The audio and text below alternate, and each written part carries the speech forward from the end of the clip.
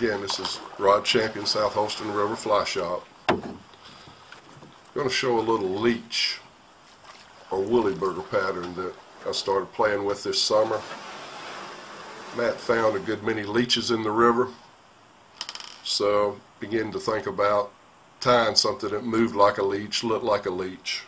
Um, came up with this little thing and it worked real well. It worked real well on high water and uh, I've known a good number of guys that have taken it and caught a lot of fish on low water. Uh, you can do it in a olive, seems like an olive tail is one of the big keys. Body anywhere from gray to dark brown to black. Uh, and then the winging on it be a uh, barred uh, brown or even black.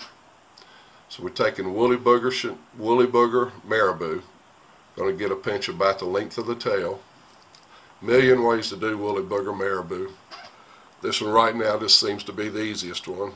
Make it about the length of the hook. Tie it in. Pinch it and hold it till you get it tied in. We just had to edit one because I didn't pinch it and hold it. So pinch it and hold it. Clip off the excess. You can use a an amnesia loop back here or some kind of mono loop and it's good. I didn't on this video. You can come up under the tail with your with your thread and kind of pop it up some and that works. The amnesia will definitely work. So I've got a good fluffy woolly burger tail on it or a leechy tail on it. Now this is black. This is black mohair, leech yarn, whatever. Um, I would rather it be uh, maybe olive or brown, but black works very well. Tie it in. Now tie it in at the front. You can tie it in at the front because it'll kind of build your body up a little bit more. And then wrap it back.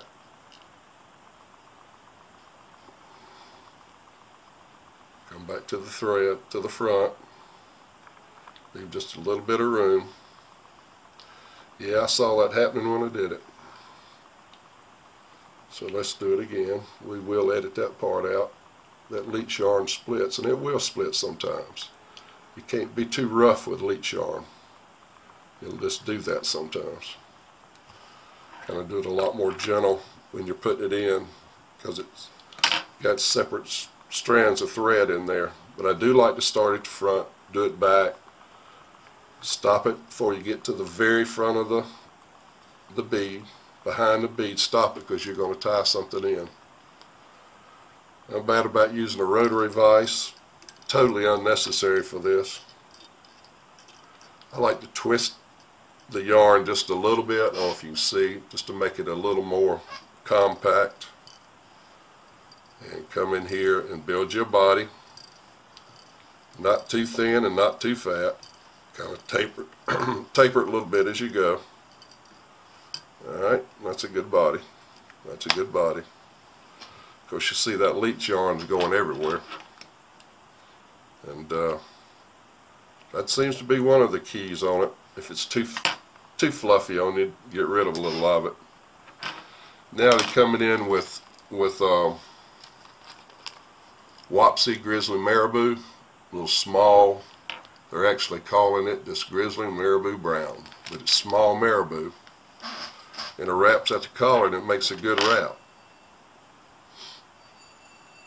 Come get you a piece like that.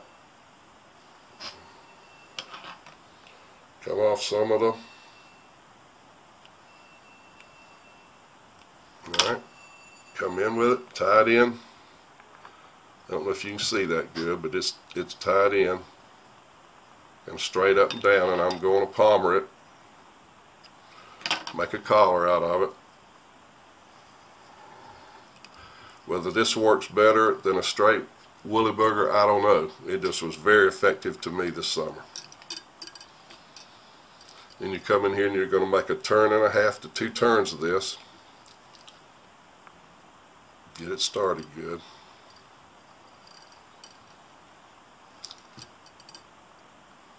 If you wet it good, it'll lay back on you fairly well.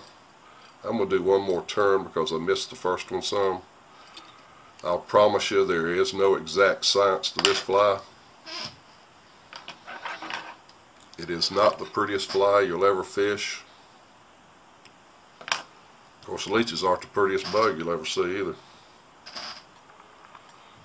But it has the good movement, is what's so beautiful about. Tie it down. That's actually a pretty good one. I'm Zap-A-Gap. I've tied 40 years and never learned how to use a a tool, so I just come in here with that. Can't teach old dogs new tricks. I don't know. I'll half hitch it and I'm done. And that right there, oh, I hope that wasn't in front of it, but that right there is a uh, a leech or a booger or something that will catch fish on the South Holston. This can be a black bead, very effective as a black bead. I'm at home with the flu, so I don't have the big black bead. I just have this go one. Go to work fine, uh, but the black works extremely well. So uh, I guess I would call that rod's leech. But you can call it anything you want to, as long as it catches fish.